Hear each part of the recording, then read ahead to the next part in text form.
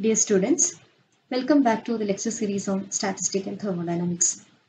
In the previous videos, we had discussed about partition function and its significance, factorization of partition function into translational, rotational and vibrational partition functions, etc.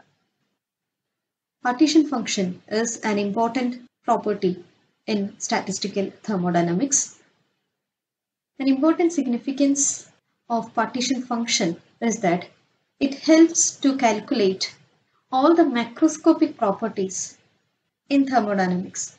That is, thermodynamic properties such as internal energy, entropy, enthalpy, heat capacity, etc.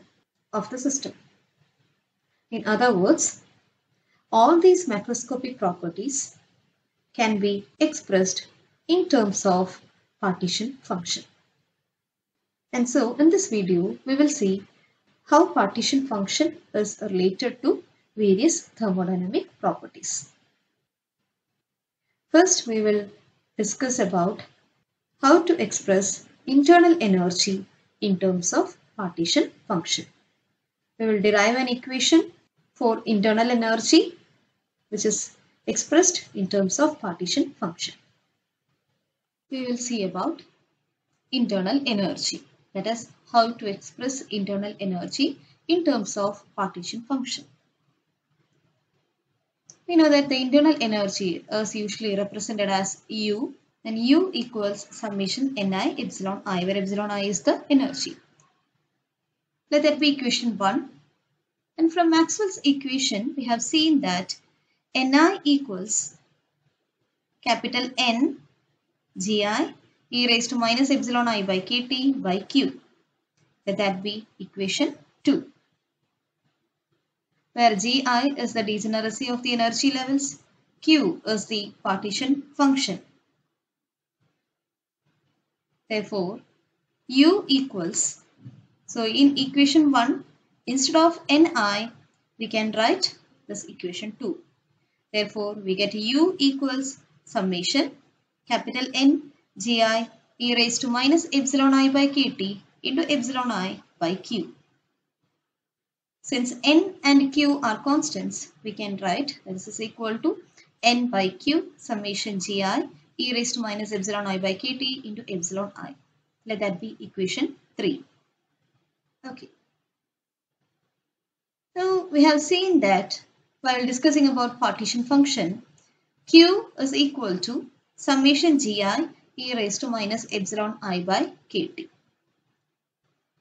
Now if we differentiate this partition function q with respect to temperature at constant volume, we can write dou q by dou t at constant v is equal to summation gi e raised to minus epsilon i by kt into differential of this that is minus epsilon i by k into minus 1 by t square. So we get if we take k into t square to the left side we get kt square into dou q by dou t at constant v is equal to summation gi e raised to minus epsilon i by kt into epsilon i. Let that be equation 4. So uh, we wrote the expression for partition function q equals summation gi e raised to minus epsilon i by kt and then we differentiated q with respect to t at constant v and we got equation 4 as kt square dou q by dou t at constant v equals summation gi e raised to minus epsilon i by kt into epsilon i. Now if we substitute this equation 4 in equation 3, what is equation 3? u equals n by q summation gi e raised to minus epsilon i by kt into epsilon i. So instead of this term that is summation gi e raised to minus epsilon i by kt into epsilon i, what we can write? We can write kt square into dou q by dou t at constant v. So if we substitute in equation 3, we get u equals n kt square by q dou q by dou t at constant v. Or we can also represent as u equals n kt square Instead of 1 by q, dou q by dou t, we can write dou log q by dou t at constant v.